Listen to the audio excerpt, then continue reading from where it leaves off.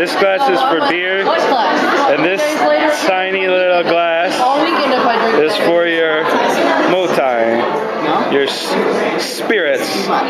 So this is about how much I'm gonna drink.